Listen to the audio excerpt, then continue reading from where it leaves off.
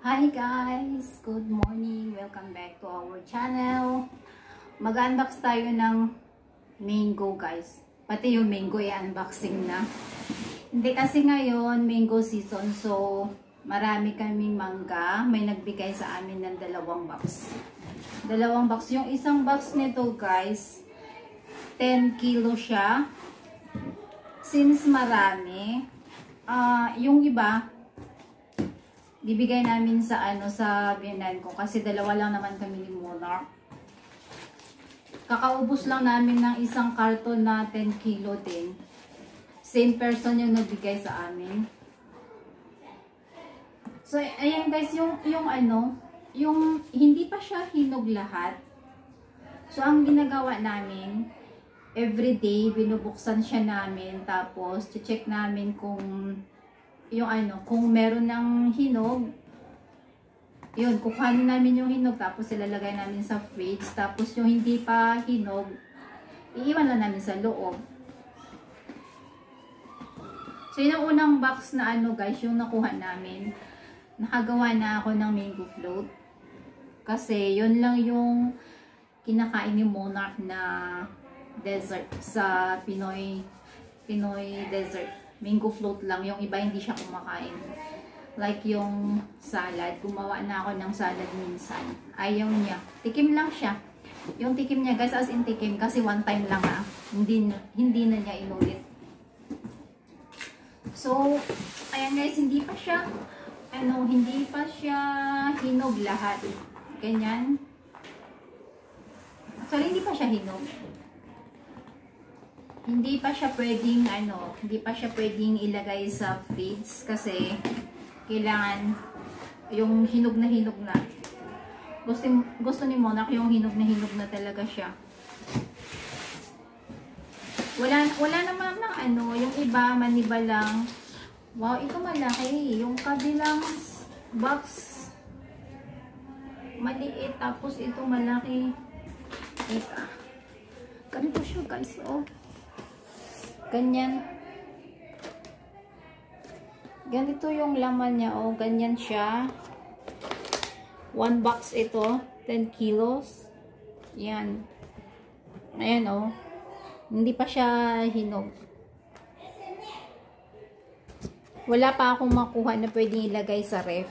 Yung katulad nito, ayaw pa, ayaw pa to ni Monarch ilagay sa ref. Gusto niya talaga yung Talagang yung malambot na hinog na hinog. Tapos ganyan. Iba-ibang klase naman ng mango, guys. Pero ito, anong klase to? Kesar. Kesar na klase ng mangga. So, yan guys. Last year, grabe yung init. Alam niyo brown out. Kaya grabe yung pawis ko. Last year, bumili kami. Nakailang box kami ng 10 kilo. Pero ngayon, since may nagbigay nga. So, hindi na kami bibili. Kasi, di ba bakit pa kami bibili kung meron naman nagbigay? Tsaka, ang dami. Ang dami siya, guys. Kaya, ano naman ang gagawin namin? Yan. So, yan. Yan siya, oh. Biro yung 10 kilo, tas dalawa lang kami kakain. Ito pa lang yung pinakahinog na nakita ko sa box na to. So, ngayon, mm, nag-text si Monak sa akin, nag-message siya na sabi niya i-open ko daw. Tapos, kukuha ako ng ng ano, kukuha ako na ibibigay kung bibigyan namin kay mami. Kasi paparating yung ano, yung tauhan niya na kukuha dito. So, ayan separate muna natin guys. Mag-separate muna ako para sa ano, sa binan ko. Grabe yung pawis ko. Mainit. Kaya naglalagay ako ng ano, naglalagay ako ng towel sa likod.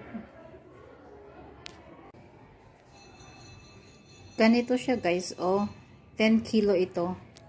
Makita nyo, hindi man masyadong maganda yung balat niya.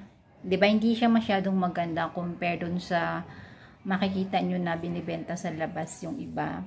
Yung makinis na ano, ganyan walang itim-itim or something, ganon. Pero sobrang tamis nito guys kasi galing talaga siya sa puno nung pagka-harvest nila tapos nilagay nila sa box then benta. Kaya ano, super tamis siya. Mas matamis pa, mas matamis pa siya sa nabibili natin sa labas na ang ganda ng balat. Yan. Pwede na akong makagawa talaga ng mango float after few days. Music